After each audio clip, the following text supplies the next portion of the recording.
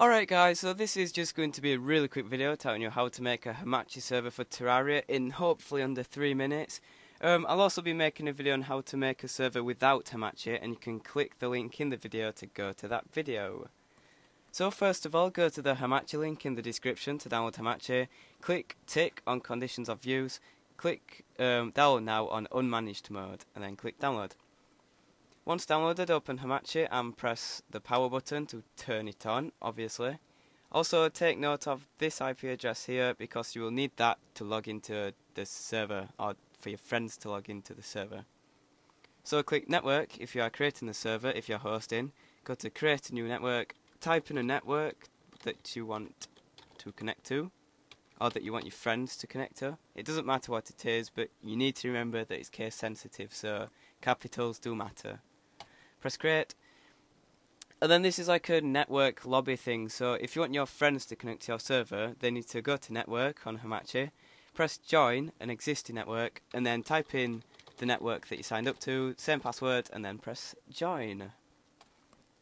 So once they're in this like um, network lobby thing, if you are hosting the server, you've got to go to www.terraria.org and press download the original dedicated server software.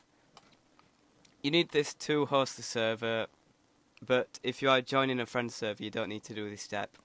So just extract this anywhere onto the desktop or wherever using an extraction tool. And then press Terraria server, I think. Yeah. And then just go through the steps really quick. So choose world, max players, server port, server password, and then it'll start rendering the world. Don't, it doesn't take long, so yeah, that's done. Open Terraria, go to multiplayer, join, choose character, and then this is where your IP comes into use now. So as you can see, if people want to join your server, you've got to tell them your Hamachi ID if you created the network.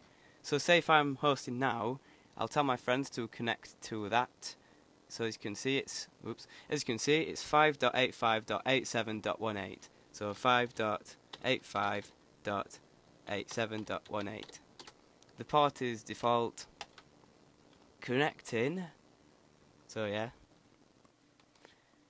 And yeah, that's pretty much it. That's how to create a Hamachi server on Terraria. It's not the most efficient, it is a lot faster, it is a lot better if you port forward, and I will make a video on how to do that very soon.